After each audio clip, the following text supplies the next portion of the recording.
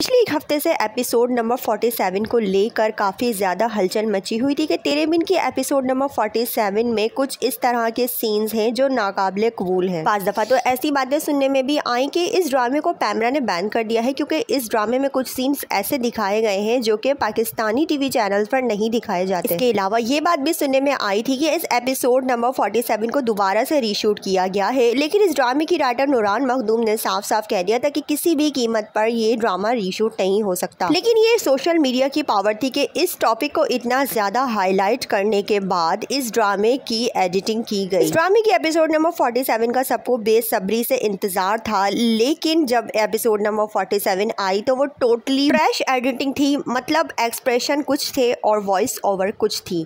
दोनों की डबिंग की गई थी वॉइस ओवर दोनों के सीन्स पर किया गया था। के सीन को भी कट कर दिया गया था जब वो मीरब को उकसाती है और मीरब घर छोड़कर चली जाती है। ये बात पाकिस्तान की पूरी आवाम ने नोट की कि इस ड्रामे में वॉइस ओवर की गई है क्योंकि दोनों आर्टिस्ट कराची से बाहर थे। और ये बात तो कंफर्म है कि मैरिटल रेप का सीन इंक्लूड था इस ड्रामे में क्योंकि सोशल मीडिया पर इतना शोर मचने के बाद लास्ट मोमेंट पर इतनी अनप्रोफेशनल एडिटिंग की गई। जिसकी तस्दीक दिस इज़ आमना ने अपने लाइव सेशन में कर दी। जी बिल्कुल ऐसा ही था कि लिखा गया था लेकिन वो एडिट में से निकल गया।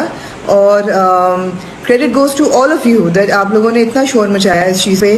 अवाम को इस ड्रामे की इस एपिसोड का बेसब्री से इंतज़ार था, लेकिन जब ये एपिसोड नशर हुई तो सारे अरमानों पर पानी फिर गया। मुर्तसिम के कैरेक्टर को गंदा होने से बचाने के लिए सारा इल्ज़ाम मीरब पर दे दिया और मीरब की वॉइस ओवर में ये साफ़ साफ़ कहा जा रहा था कि सब कुछ मेरी मर्ज़ी से हुआ है, जिस पर अवाम का कहना था कि जब सब कुछ मीरब की मर्ज़ी से हुआ है तो मुर्तसिम इतना गिल्टी फील क्यों कर रहा है? मतलब की एपिसोड नंबर फोर्टी किसी भी चीज़ को जस्टिफाई नहीं कर सकी। और एक एपिसोड में एडिटिंग हुई है तो इसका मतलब है कि आने वाली तमाम एपिसोड में एडिटिंग करनी पड़ेगी। इस ड्रामे की रेटिंग पर क्या अब भी असर पड़ेगा या नहीं? कॉमेंट्स के ज़रिए से लाजमी बताएगा। तब तक के लिए अल्लाह हाफिज।